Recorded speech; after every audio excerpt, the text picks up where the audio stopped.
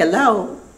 I'm Alethea Stark, the project coordinator for the National Great Blacks in Wax Journeys Project.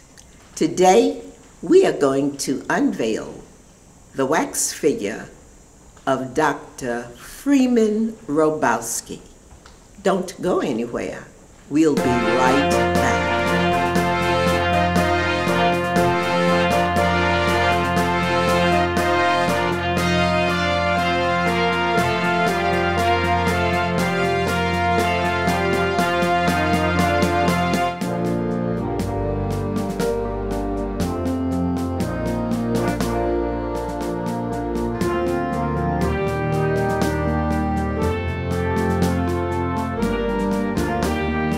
Hi, I'm Tia Taylor with Spotlight on Blacks in Wax. We're here at the Murphy Fine Arts Center located at Morgan State University. So join us now. Dr. Freeman Hrabowski is currently the president at UMBC. Dr. Hrabowski focuses on science and engineering and education as a whole, and he's also, along with the Meyerhoff Foundation, started the Meyerhoff Scholarship Program to really ignite a passion in, in higher education learning for children especially focusing on minorities in the science and engineering programs. We're going to learn more now about Dr. Freeman Hrabowski. So let's go inside the concert center. Uh, Dr. Hrabowski is really much, in terms of present day educators, one of the best examples that could have been selected for this induction. On a personal note, I thank him for his stewardship of the UMBC for his leadership throughout the Baltimore area and the state of Maryland, but most of all for his friendship, which goes back many, many, many years. And there are a lot of remarkable things about Freeman that you will soon hear in the presentation that's coming forward from Dr. Musgrove. One of the things that struck me, though, was when Time magazine gave him this designation as one of the most powerful, influential the world. And I was listening on the radio in drive time trying to get somewhere and I heard that. I felt so good that I immediately picked up the phone and called and left word, just tell Freeman we all are proud of him again. But when I turned the radio volume back up, there was Freeman Hrabowski being interviewed. And Dr. Hrabowski, despite what everybody might think about him, I think is a little shy particularly when it comes to himself. And I'm saying this with all seriousness. He, he's a man of great humility, but I got the sense that day listening to him that I was right when I thought that when it comes to him, he's a little shy because they would just say, oh, Dr. Hrabowski, this is so rare and nobody ever gets this, and here you are in Maryland. And, and throughout that interview, he kept directing the conversation back. He said, well, you know, I thank you very much, but if it had not been for great students at UMBC, but if I didn't have great staff and faculty administrators, but if my parents didn't raise me white, but if I didn't have a good wife, but if the community hadn't embraced me, he kept giving it back to all of us. And that's a measure, a real measure, a real measure. Dr. Hrabowski has been involved in just numerous civic community activities and charitable causes, giving freely of his time and there is so little time in the day, but he finds a way to do that. But I'm going to ask before I bring Dr. Musgrove out if all of the members of the Hrabowski family could please stand so that we too might acknowledge all of you.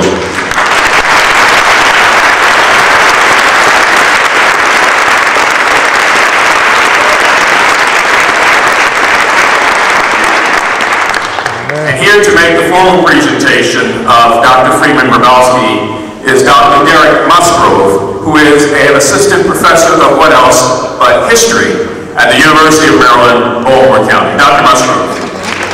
This spring is the 50th anniversary of the Birmingham Campaign, one of the epic battles of the Southern Civil Rights Movement. For those of you who are familiar with the Civil Rights Movement and with the Birmingham Campaign in particular, you'll know that by mid-April 50 years ago, things were getting quite desperate on both sides. Civil rights activists had filled the jails to such a point, in fact, that there were no more adult volunteers left to actually go into jail. the authorities in Birmingham had become violent, desperate to clear the streets. They had used fire hoses, and dogs, which would become symbolic of Southern brutality for the next several generations. And determined to break the impasse, Martin Luther King decided at that point, early May 63, to send students, children, into the streets to see if they could have a breakthrough. In the midst of all the chaos, 12-year-old Freeman Hrabowski informed his parents that he wanted to march.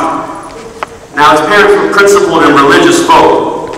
They had supported the campaign. They had been civil rights activists, in fact, since 1940s. But they couldn't bear to send their only child into the streets.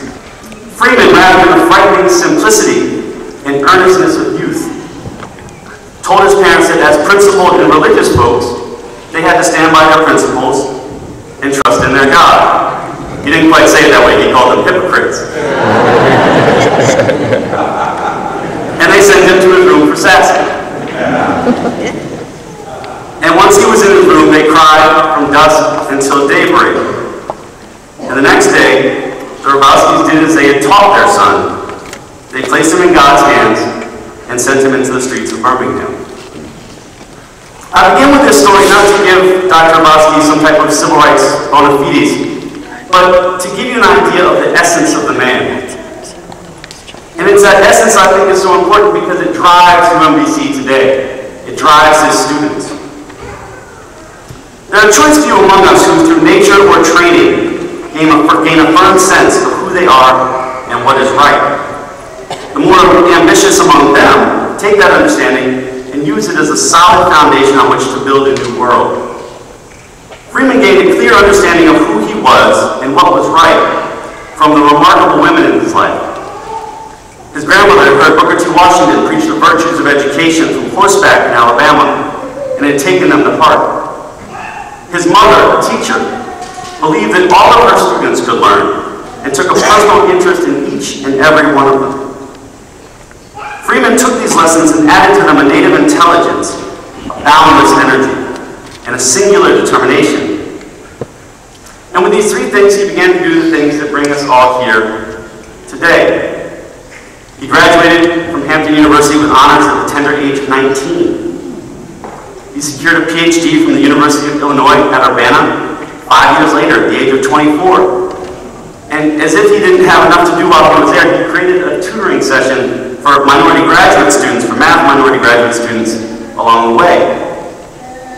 At Coppin State here in Baltimore, he became the boy dean, still in his 30s. And then he had the audacity in 1987 to head to UMBC a school that in its entire history had only graduated 20 African Americans in the sciences. And he went there for the purpose of creating a program for graduating large numbers of minorities in the sciences. Well, we all know how it turned out.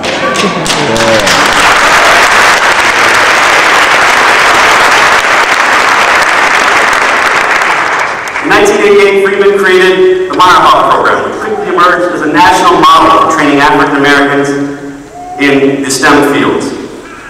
Today, UMBC produces more African American graduates in the STEM fields per year than it had in the, in the entire time before Freeman Hrabowski got there.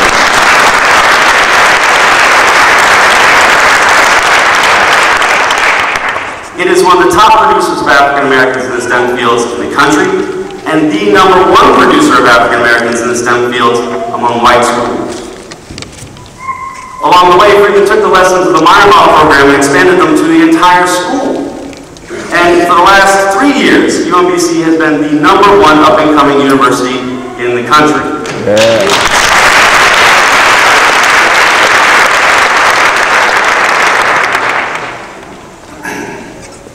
In recent years, his accomplishments have brought accolades and requests for advice from nearly everyone, from Great Blacks and Whites, on down to Harvard University the President of the United States.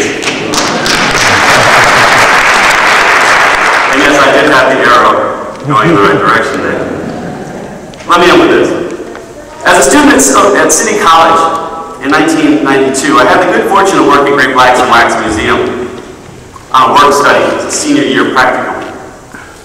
And that year in the museum, surrounded by the likenesses of the great men and women of my race, was a time of wonderment. I can remember quite vividly, in the darkness of the museum before the crowds got there, standing before the figures of Frederick Douglass and W.E.B. Du Bois, Zora Neale Hurston, and other giants of African American thought, wishing that I could have known them, talked to them, and learned of their need. And at the end of the year, I led night lights and wax for UMBC, where Freeman was serving, serving as interim president.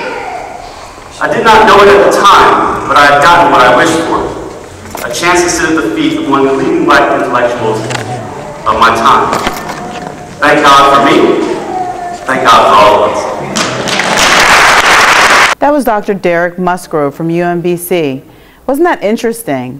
Don't go anywhere, we'll be right back with more. Hi, welcome to the show. We are here today with Dr. Joanne Martin, founder of the National Great Blacks in Wax Museum. Welcome, Dr. Martin. Tell us what's going on in, at the show today. Well, today we are um, here at Morgan State University for um, the unveiling of uh, four educators uh, for Uplift. Um, it's a uh, we're having an unveiling uh, ceremony and VIP reception, uh, and uh, we're going to get a chance to salute four amazing um, groundbreaking educators, Dr. Mary McLeod Bethune, who founded Bethune Cookman College in Daytona Beach, Florida, uh, in 1904, I think. Um, Dr. Benjamin Mays, who was uh, president for over 20 years of uh, Morehouse College in Atlanta uh, Georgia, and Dr. Benjamin Quarles, uh, who headed the um, history department at Morgan State University for close to 30 years, and Dr. Freeman Hrabowski, who is president of University of Maryland, Baltimore County, and who has earned a reputation for graduating uh, more uh, African American males in the um, science, technology, engineering, and math categories than, uh, than uh, any other college president. So, uh, again, uh, educators for Uplift who have worked to build um, historically black colleges and universities who've made their mark on the field of education, and we're going to salute and honor them through the wax figure unveiling today. That's great. That sounds so good. Now, uh, how long is this event going to last? Um, well, the reception will be to, um, today from 12:30 uh, uh, until 2 uh, p.m. and then the unveiling reception is from 2:30 to um, 5 o'clock. So we get a chance to hear the uh, University of Maryland, Baltimore County Gospel Choir and um, uh, uh, Jubilee singers, okay. um, some soloists. We have a violinist, and so it's going to be um, a very comprehensive program of entertainment and um, just spirit of uplift. So Dr. Martin, uh, we know that you are uh, expanding the, the, museum, and uh, we know that this is um, the first portion of it. How long will this uh, Uh, expansion, how long will it take for you to open the new museum? Um, well, uh, you're right. This is a very, very important part of, um, of our expansion and, and, and an introduction to, uh, for many people to the expansion project. Uh, we're looking at an ongoing project. We have this um, the Journey projects, and this is we're we're starting the educational journey with this uh, event today. Um, but we have the spiritual journey and the sports journey, and any and uh, a number of very exciting journeys, and uh, so they will be ongoing. We're looking for the grand opening of the museum to occur around 2016 of the new uh, National Great Blacks in Wax Museum, our block-long uh, museum. We are in the design phase and have um, created an amazing um, design for the museum. And so um, each year um, we're going to highlight a particular journey, mm-hmm. and um, the uh, upcoming journey for 2014 will be the spiritual journey. Great. Thank you, Dr. Martin. I know you have to get back to the event, uh, and we'll be back with more. Thank you. So today we are going to unveil the enshrining of four great American educators. And these four educators represent not only great educators on our colleges and university campuses, past and present, but educators at every level at which we deliver education. You represent my sixth grade teacher, Ms. Robinson, who inspired me to believe that I could be anything that I wanted to be when I grew up because she cared about me and the students in her charge. Uh, you represent uh, my 11th grade science teacher, Dr. Williams, who realized, as I did as an early age, Dr. Hrabowski, that I was not going to go on to a field in the STEM disciplines, yet convinced me that the rigors and discipline of studying chemistry would have benefits uh, in my life uh, nevertheless. Uh, the four educators uh, who we honor today uh, share uh, a common among them not only a vast and deep knowledge and understanding in their fields of study, but a deep-rooted passion for and dynamic ability to motivate the students that you have touched. And today with us is Dr. Freeman Hrabowski, who is a giant uh, among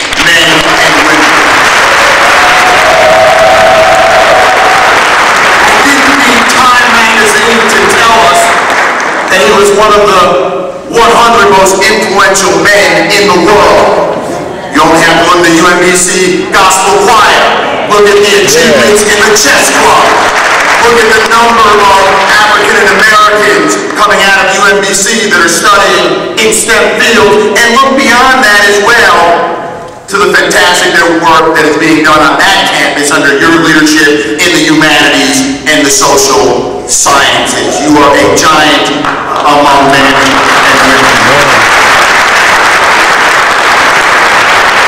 So we have a responsibility not just to honor and lift up their service, but to teach the next generation about their work and our history.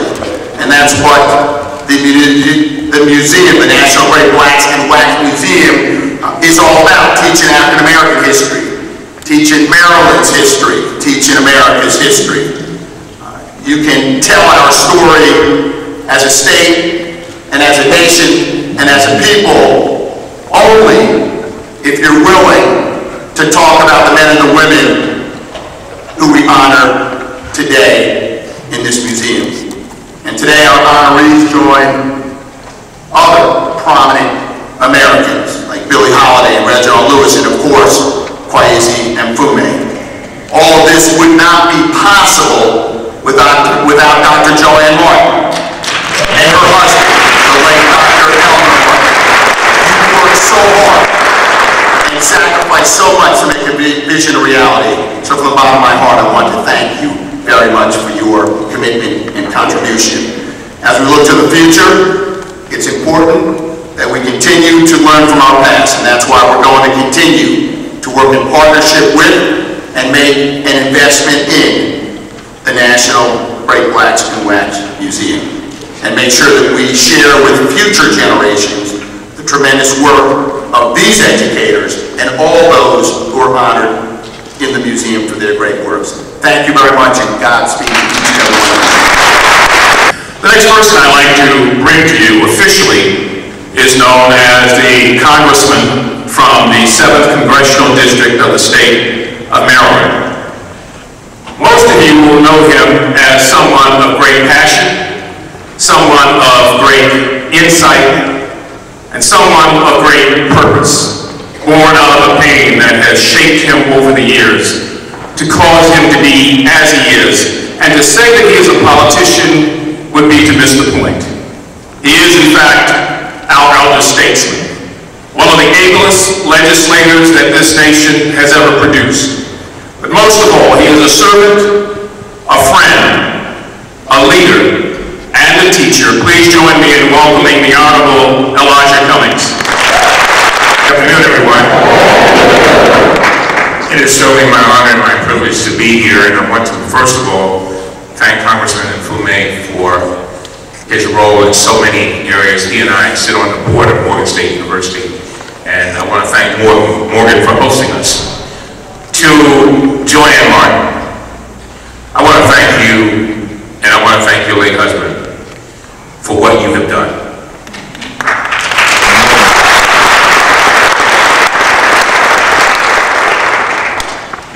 as I get older. I'm constantly in search of why God placed me on this earth. Every day I ask God, my number one prayer is God, allow me to see me like you see me. I just want to see what he sees in me so I can be that. You all, you and your husband, mission and have a mission to provide a mirror for our people so that they can understand from whence they have come, so they can appreciate where they are, so they can map out where they're going. Oh, that's a mission now. And you have taken it and given it every single thing you have. Somebody traveling this road, just coming through North Avenue and walking out stronger with their head a little higher, knowing that they are on a mission and that they do have a purpose. And with that, I thank you, thank you, thank you, Black Blacks Museum. I want to thank Senator McFadden. I don't know whether he left. Senator McFadden for all your hard work. Marie Washington, your names may never be written all over the place, but I know the role that you are to play. And so, we're on a mission. May God bless. Thank you very much.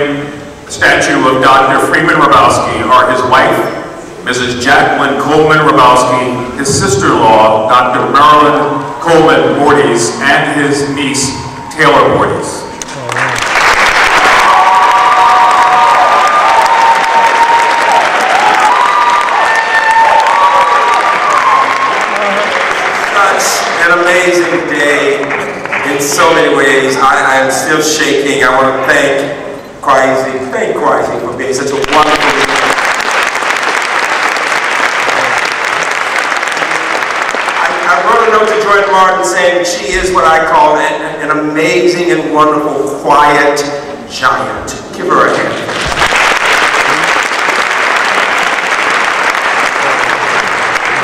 so many people today, my beloved wife of 40 years who's smiling today that she was when I married her. Every. She's so much. Miss Delta Sister Baker, Hampton Institute. All my family members and friends and elected officials and Senator McFadden but, but the educators, Senator Curry and the UMBC alumni, Adrienne Jones, and all who support education in the state. This is all about education. Education transforms lives. Where would we be without education? It is not individual, these wonderful giants. I am so nervous. I am so humble in the presence of greatness. I looked at that picture when it had 1950 and a dash. We're all living in that dash. And the question is, what will we do in this dash? There is the question. When Derek, a graduate of the Baltimore City Schools and UMBC, and then Michael, uh, you know, he, he, did this song called You Raised Me Up, and I'm thinking, you messing me up. I was just messed up, as my mom would say. Give Derek and Michael two black boys out of Baltimore City.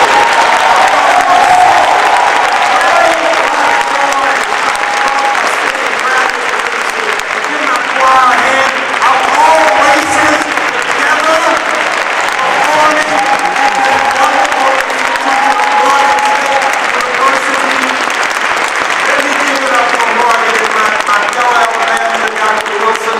Earlier today, my fellow Alabama, the president Western Illinois University. He's here with his son, looking at Morgan, Dr. Jack, Jack Thomas. I mean, we Alabamians have come here to what we call the North. We call Baltimore the South the North. It's the Upper South. But I tell you that because as a teenager I came here to visit my cousin, the chair of the English department at Morgan, Nick Aaron Ford. And I heard about and got to know that giant Benjamin Quarles. I got to know that wonderful giant Benjamin Quarles. I got to know that wonderful giant Julius Taylor and all these brilliant PhDs and they inspired me to want to be like them. And years later to the family of Benjamin Quarles, I need you to know, I brought him to my campus to UMBC. I said, if you would just come one day a week, I'll pay you whatever you want. And just, I, just come over and, teach and teach one class. And let me tell you what made brought tears to his eyes and mine. And Kweisi said it well. He said, Freeman, you don't know this. He said, but I'm a little shy. And the family members know what I'm talking about. Said, I don't want to get in front of a lot of people talking anymore. I've done that part. I want to do my writing. And I resonated with that because as much as you see me out being loud and raising money, this is not about me. I don't want it to be about me. It's about all the people, my grandmamas and granddaddies and mom and daddy, my church and my teachers, my colored teachers in Birmingham, who told me not to let anybody else define who I am. That I can have time to be a victim, to hold my head up high, and to dream, dream big. It's my dreams. It's about my beloved Hampton. It's about my beloved Coppin State College. Let me tell you, Coppin gave me 10 years. I've enjoyed being with those people. Two of my colleagues, Cynthia Neverdon-Morton, who was taught by Benjamin Quarles, and Betty Gardner, brilliant historians at Coppin. Give them a hand. Because we need to talk about the strengths of our institutions. The strengths of our institutions. And all my colleagues at UMBC, from a Cynthia Hill to a Valerie Thomas to Tyson King Meadows to a young Derek Musgrove, all those students and faculty who make me who I am. I stand on the shoulders of giants, standing on the stage, but of all of you. And the message to you today is it's not about us. It's about the transformative power of education to make a difference. You know, I want you to hear what Mary McLeod said. You know, that boy who sang that song, and I call him because he's like my son, both, it's amazing. You talk about producing black people in STEM, there, there is a Derek Musgrove, a PhD in history. There is Michael, who is a brilliant mathematician, and told me God was calling him to religion, so he went off to Emory, got the grad degrees, but the Lord works it out. He's back teaching the eighth grade in Baltimore City in mathematics.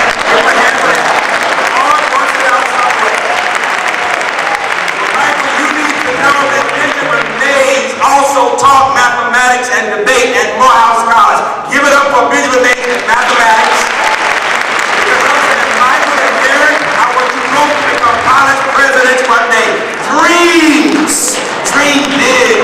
And finally, Mary McLeod Bethune said these words, we burn logs and use the charred splinters and pencils